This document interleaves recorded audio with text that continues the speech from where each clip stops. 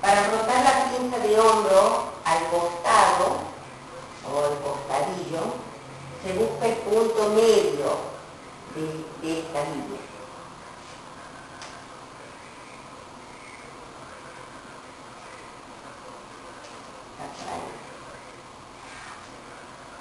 Y ahora se dibuja esta línea.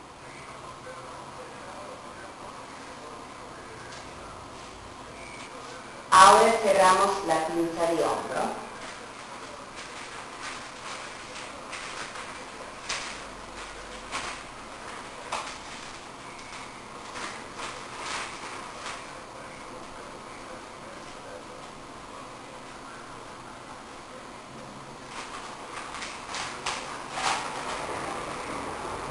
Y ahora se corta esta línea para aplanar el molde.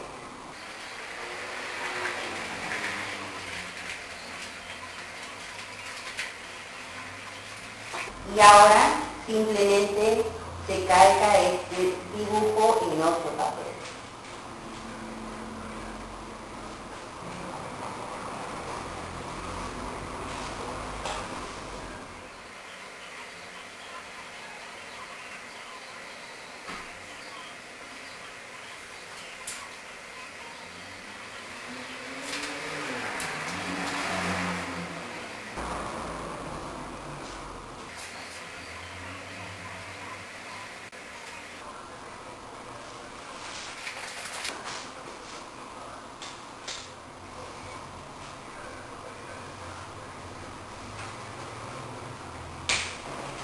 Ahora se recorta.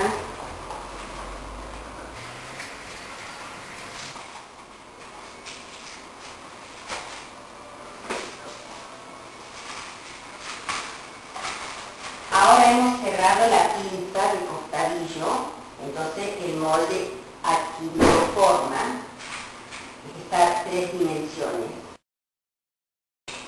Tenemos que rectificar o redibujar esta línea, cerras la pinza pierde la forma.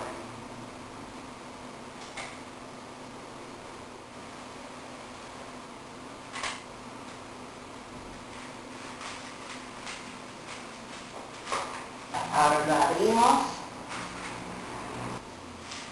Ah. Ahora tiene la forma correcta para poder cerrar la pinza.